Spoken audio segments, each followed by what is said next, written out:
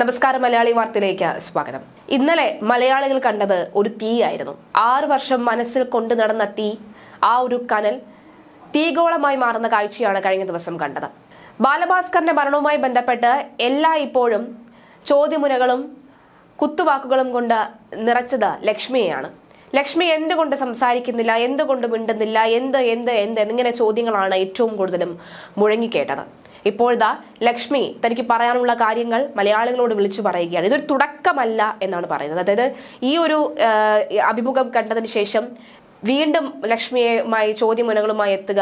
അല്ലെങ്കിൽ വീണ്ടും വീണ്ടും ചോദ്യങ്ങൾ പറയുക. ഇനി ഈ അഭിമുഖത്തിന് മറുപടി ഒരു വശം പറയുക. അതിനൊരു രണ്ട് പറയുക മൂന്ന് പറയുക. അതിനൊരു തയ്യാറാ അതിനൊന്നും തയ്യാറാവില്ല. എനിക്ക് എന്തറിയാമോ അത് പറയാൻ പറയണം എന്ന് കരുതി. ബാലുവിനെ സ്നേഹിക്കുന്ന ഒരുപാട് ആളുകൾ എന്നിൽ നിന്നും അത് അറിയണമെന്ന് കരുതി. അതുകൊണ്ടാണ് ഈ ആറ് വർഷത്തിന് ശേഷം വന്നു പറയുന്നത് എന്നാണ് ലക്ഷ്മി പറഞ്ഞിരിക്കുന്നത്. ഇതിൽ ചില നിർണായക വിവരങ്ങൾ ലക്ഷ്മി പങ്കുവെക്കുന്നുണ്ട്. അതായത് നമ്മൾ മലയാളികൾ എല്ലാവരും തന്നെ വിചാരിച്ചിരുന്നത് മുൻ സീറ്റിൽ ഉറങ്ങിയിരുന്ന ബാലഭാസ്കർ അദ്ദേഹത്തിന്റെ മടിയിൽ ഉറങ്ങിയിരുന്ന കുഞ്ഞ് ഡ്രൈവർ ഉണ്ടായിരുന്നു പിൻസീറ്റിൽ ഉണ്ടായിരുന്ന ലക്ഷ്മി. അപകടം ഉണ്ടായപ്പോൾ പിൻസീറ്റിലായിരുന്നു അല്ല മുൻസീറ്റിലായിരുന്നു ബാലഭാസ്കർ അടക്കമുള്ള കഥകൾ വന്നിരുന്നു. എന്നാൽ അങ്ങനെയല്ല താനായിരുന്നു മുൻസീറ്റിൽ പിൻസീറ്റിലായിരുന്നു ബാലഭാസ്കർ ഉണ്ടായിരുന്നത് എന്നാണ് പറയുന്നത്. തന്റെ തൊട്ട് പിറകിലായിട്ടാണ് ബാലഭാസ്കർ ഇരുന്നത് എന്നും പറയുന്നുണ്ട്. സത്യത്തിൽ അവിടെ സംഭവിച്ച കാര്യങ്ങൾ തനിക്ക് ഓർമ്മയുള്ള കാര്യങ്ങളൊക്കെ തന്നെ വ്യക്തമായി തന്നെ പറയുന്ന സാഹചര്യമാണ് ഉണ്ടായിരുന്നത്. പല സമയത്തും കരയരുത് എന്ന കണ്ണീര് മനഃപൂർവം പിടിച്ചു വെക്കുകയും എന്നാൽ ഒരു ഘട്ടത്തിൽ പൊട്ടിപ്പോവുകയും ചെയ്യുന്ന ലക്ഷ്മിയെ നമുക്ക് കഴിഞ്ഞ ദിവസം കാണാമായിരുന്നു. ഏറ്റവും ഒടുവിലായി ലക്ഷ്മി പറഞ്ഞു വെക്കുന്നത് ഈ ആശുപത്രിയിൽ അപകടശേഷം അദ്ദേഹത്തെ ഞാൻ കണ്ടതേയില്ല എന്നാണ് പറയുന്നത്. അപകടശേഷം ഒന്ന് ഒരു നോക്ക് പോലും ഞാൻ കണ്ടില്ല കാണാൻ കഴിഞ്ഞിരുന്നില്ല. എന്നാൽ അദ്ദേഹം ഓക്കെ ആയി റിക്കവർ ചെയ്ത് വരികയായിരുന്നു എന്ന് പറയുന്നുണ്ട്.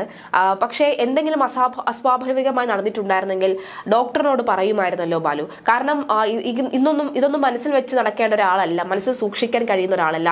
ആ നാല് പേരോട് പറയില്ലെങ്കിൽ പത്ത് പേരോട് പറഞ്ഞ് കാര്യം കൃത്യമായി പോലീസിനോട് ഇതൊക്കെ എത്തിക്കാൻ അത്രയും പ്രാപ്തിയുള്ള ഒരു വ്യക്തിയാണ് ബാലഭാസ്കർ എന്നാണ് ലക്ഷ്മി പറഞ്ഞത്. അല്ലാതെ ഒന്നും ഒളിച്ചു വെക്കേണ്ട കാര്യം അദ്ദേഹത്തിന് ഇല്ല എന്ന് പറയുന്നു.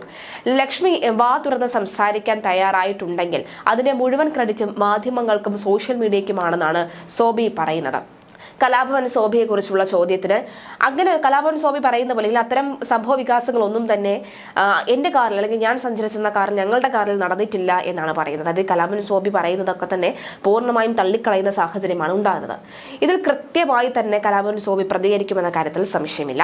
എന്തായാലും ലക്ഷ്മി ഒന്ന് പറയുകയും അവിടുന്ന് രണ്ട് പറയുകയും പിന്നെ വീണ്ടും ഇതൊരു ചർച്ച ചർച്ച ചർച്ച അങ്ങനെ പോകാൻ താല്പര്യമില്ല എന്നാണ് പറയുന്നത്. കേസ് അന്വേഷണം നടക്കുന്നുണ്ട്. കേസ് അന്വേഷണത്തിലൊക്കെ തന്നെ കൃത്യമായി പറയാനുള്ള കാര്യങ്ങൾ മൊഴി നൽകിയിട്ടുണ്ട്. മൊഴിയായി ഒക്കെ തന്നെയാണ് നൽകിയിട്ടുള്ളത്. എന്റെ ഓർമ്മയ്ക്കൊന്നും സംഭവിക്കരുത് എന്നാണ് എന്റെ പ്രാർത്ഥന. എന്നാൽ മാത്രമേ കൃത്യമായി മൊഴി നൽകാൻ സാധിക്കുകയുള്ളൂ. മരിച്ചുപോയ എന്റെ രണ്ട് ജീവനുകൾക്ക് വേണ്ടി അവരുടെ അവസാനം അവർക്ക് എനിക്ക് ചെയ്യാൻ പറ്റുന്ന അവർക്ക് വേണ്ടി ചെയ്യാൻ പറ്റുന്ന അവസാനത്തെ ഒരു കാര്യം മാത്രമാണ് ഈ കേസിന് നീതി ലഭിക്കുക എന്നത്.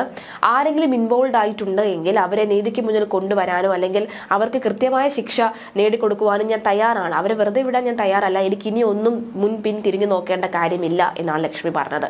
മാത്രമല്ല ആരും അങ്ങനെ ഇതിൽ ബന്ധപ്പെട്ടിട്ടില്ല. ഇതൊരു അപകടമാണെങ്കിൽ അത് അങ്ങനെ തന്നെ പൊക്കോട്ടെ എന്നും ലക്ഷ്മി പറയുന്നുണ്ട്. ആരാലും ബാധിക്കപ്പെട്ടിട്ടില്ലെങ്കിൽ മറ്റാരെയും ഇതിലേക്ക് വലിച്ചിഴക്കാനും എനിക്ക് താല്പര്യമില്ല എന്നും ലക്ഷ്മി പറയുന്നുണ്ട്. ഒരു അൺയൂഷ്വലായ ഒരു സംഭവ വികാസങ്ങൾ നടന്നിട്ടുണ്ടെന്ന് ലക്ഷ്മി പറയുകയാണ്. മാത്രമല്ല ഈ സ്റ്റീഫൻ ദേവസ്യ ആ ഒരു ആശുപത്രി ആ മുറിക്കകത്ത് കയറിയതിന് ശേഷം അതുവരെ നന്നായി പ്രതികരിച്ചുകൊണ്ടിരുന്ന ബാലഭാസ്കർ പിന്നീട് പ്രതികരിക്കുന്നില്ല. അല്ലെങ്കിൽ പിന്നീട് കേട്ടത് മരണവാർത്തയാണ് എന്നും സോബി പ്രതികരിച്ചിരുന്നു. എന്തായാലും ഇതിനൊക്കെ തന്നെ കൃത്യമായ മറുപടിയാണ് കഴിഞ്ഞ ദിവസം ലക്ഷ്മി പറഞ്ഞത്. ഇനി ലക്ഷ്മിയെ ക്രൂശിക്കരുത് എന്നുള്ള അഭ്യർത്ഥനയാണ് പലരും മുന്നോട്ട് വെക്കുന്നത്. കേസ് കേസിന്റെ വഴിക്ക് നടക്കട്ടെ എന്ന കാര്യവും പറയുന്നുണ്ട്.